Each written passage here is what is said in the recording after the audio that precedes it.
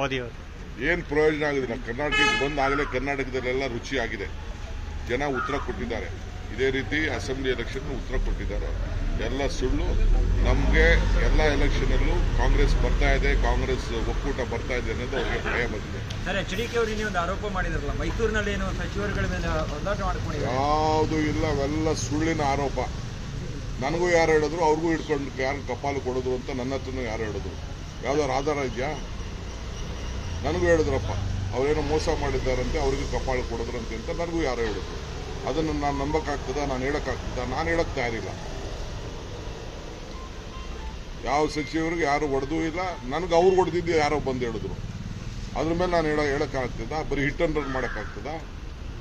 ಮೋದಿ ಅವರು ಏನು ಪ್ರಯೋಜನ ಆಗೋದಿಲ್ಲ ಕರ್ನಾಟಕಕ್ಕೆ ಬಂದಾಗಲೇ ಕರ್ನಾಟಕದಲ್ಲೆಲ್ಲ ರುಚಿಯಾಗಿದೆ. ಆಗಿದೆ ಜನ ಉತ್ತರ ಕೊಟ್ಟಿದ್ದಾರೆ. ಇದೇ ರೀತಿ ಅಸೆಂಬ್ಲಿ ಎಲೆಕ್ಷನ್ ಉತ್ತರ ಕೊಟ್ಟಿದ್ದಾರೆ. ಎಲ್ಲ ಸುಳ್ಳು ನಮಗೆ ಎಲ್ಲ ಎಲೆಕ್ಷನಲ್ಲೂ ಕಾಂಗ್ರೆಸ್ ಬರ್ತಾ ಇದೆ ಕಾಂಗ್ರೆಸ್ ಒಕ್ಕೂಟ ಬರ್ತಾ ಇದೆ ಅನ್ನೋದು ಅವರಿಗೆ ಭಯ ಬಂದಿದೆ. ಸರ್ ಎಚ್ ಡಿ ಕೆ ಅವರು ಇನ್ನೊಂದು ಆರೋಪ ಮಾಡಿದ್ರಲ್ಲ ಮೈಸೂರಿನಲ್ಲಿ ಏನು ಸಚಿವರುಗಳ ಮೇಲೆ ಹೋರಾಟ ಮಾಡ್ಕೊಂಡಿದ್ದಾರೆ? ಯಾವುದು ಇಲ್ಲ ಅವೆಲ್ಲ ಸುಳ್ಳಿನ ಆರೋಪ. ನನಗೂ ಯಾರು ಹೇಳಿದ್ರು ಅವ್ರಿಗೂ ಹಿಡ್ಕೊಂಡು ಯಾರು ಕಪಾಲು ಕೊಡೋದು ಅಂತ ನನ್ನ ಹತ್ರನೂ ಯಾರು ಹೇಳಿದ್ರು. ಯಾವ್ದಾದ್ರು ಆಧಾರ ಇದೆಯಾ? ನನಗೂ ಹೇಳಿದ್ರಪ್ಪ. ಅವರೇನೋ ಮೋಸ ಮಾಡಿದ್ದಾರಂತೆ ಅವ್ರಿಗೂ ಕಪಾಳು ಕೊಡೋದ್ರಂತೆ ಅಂತ ನನಗೂ ಯಾರೋ ಹೇಳಿದ್ರು. ಅದನ್ನು ನಾನು ನಂಬಕ್ಕಾಗ್ತದ, ನಾನು ಹೇಳಕ್ಕಾಗ್ತದ, ನಾನು ಹೇಳಕ್ ತಯಾರಿಲ್ಲ.